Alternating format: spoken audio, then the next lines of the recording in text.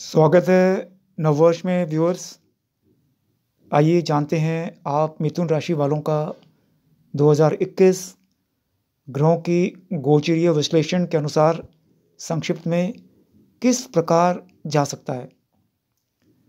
मैं कहना चाहूँगा व्यूअर्स मिथुन राशि वालों के लिए 2020 बहुत ख़राब था।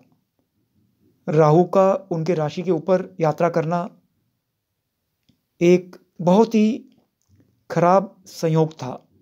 न केवल उनके लिए, पूरे विश्व के लिए मिथुन राशि पर राहु का यात्रा एक संकटमयी पूर्ण स्थिति को जन्म दे रही थी, जिससे 2020 तेईस सितंबर को निजात आपको मिल चुका है और पूरे विश्व को भी उससे निजात मिल चुका है।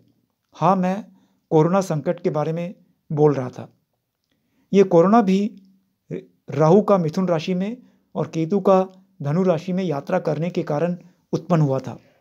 जब जब राहु केतु ने मिथुन और धनु में यात्रा किया, पूरे विश्व में कुछ इस प्रकार की महामारी, युद्ध या दुर्घटनाएँ हुई जिसने पूरे विश्व के इतिहास के पन्नों को बदल डाला। आपको काफ़ी राहत मिल चुकी है।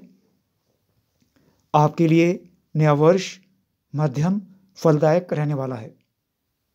विश्लेषण बतलाता है जन्म राशि से शनि का गोचर, अष्टम भाव एट हाउस में रहेगा, जो कि शुभ फलप्रद नहीं कहा जा सकता। भृगु संहिता, चिंतामणि चमत्कार, जातक, परिजात, सभी ज्योतिषीय प्राचीन ग्रंथों में वर्णित है। ये अष्टम ढैया का गोचर है। जहाँ तक बृहस्पति का प्रश्न है तो वह भी अष्टम एवं नवम भाव में गोचरत है। अष्टम भाव में शनि एवं बृहस्पति का गोचर शुभ फलप्रद नहीं है। राहु एवं केतु वर्ष पर्यांत जन्म राशि से द्वादश एवं षष्ठ भाव में गोचरत रहेंगे। जहाँ तक व्यूअर स्वास्थ्य की दृष्टि से अगर देखा जाए तो ये वर्ष शुभ फलदायक है। स्वास्थ्य के संबंध में सतर्कता रखने की आवश्यकता है। इस मामले में लापरवाही नहीं करनी चाहिए। सदैव विशेषज्ञ डॉक्टर को दिखाना चाहिए। वाहन आदि चलाते समय भी सावधानी रखें। दीर्घकालिक रोगों में भी थोड़ी सावधानी रखनी चाहिए। मोटे तौर पर आपको ग्रहों का पक्ष है स्वास्थ्य में। पिछले वर्ष जो नहीं था, कैसी बीमारी हो आप उसमें ठीक होकर आ जाएँगे। जहाँ तक आर्थिक दृष्टि का संबंध है, आर्थिक दृष्टि से भी यह वर्ष मध्यम फलप्रद बना रहेगा। एक और जहाँ आय में बाधा संबंधित योग भी बन रहे हैं, वहीं दूसरी ओर खर्चों में वृद्धि होने से अधिक होने से आर्थिक स्थिति प्रभावित हो सकती है। बचत एवं संचित धन में कमी होने की संभावना भी है। जोखिमपूर्ण धन निवेश से बचना चाहिए। अप्रैल से सितंबर माह के मध्य उक्त अशुभ फलों में कमी का अनुभव होगा।